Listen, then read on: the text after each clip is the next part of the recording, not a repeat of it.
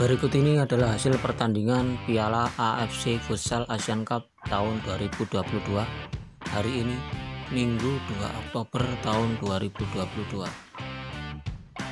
Korea Selatan kalah 0-4 melawan Arab Saudi.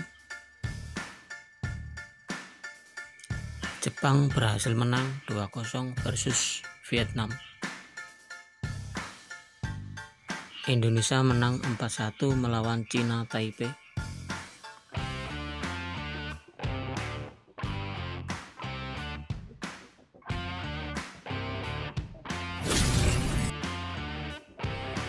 Inilah daftar klasemen Piala Futsal Asia tahun 2022 di Kuwait.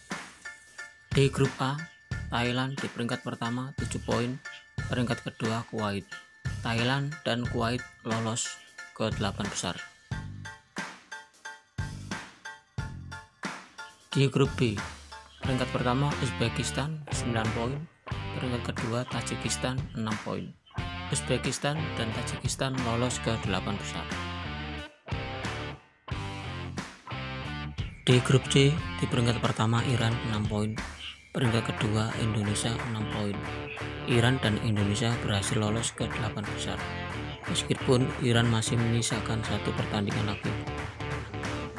Di grup D, di peringkat pertama Jepang dengan 6 poin, peringkat kedua Vietnam dengan poin.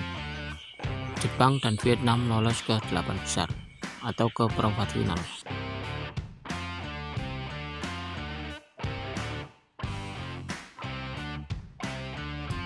Inilah daftar negara yang lolos ke 8 besar AFC Futsal Asian Cup di Kuwait. Yang pertama Thailand sebagai juara grup A. Yang kedua Uzbekistan sebagai juara grup B. Yang ketiga Iran sebagai juara grup C. Yang keempat Jepang sebagai juara grup D.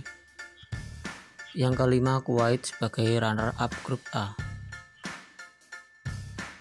Yang keenam Tajikistan sebagai runner-up grup B. Yang ketujuh Indonesia sebagai runner-up grup C. Yang kedelapan Vietnam sebagai runner-up grup D. Inilah negara-negara yang lolos ke delapan besar atau perempat final.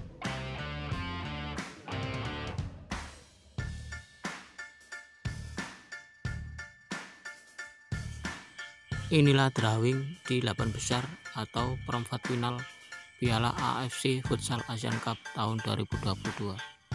Thailand akan menghadapi Tajikistan. Iran akan melawan Vietnam. Uzbekistan akan melawan Kuwait. Jepang akan melawan Indonesia.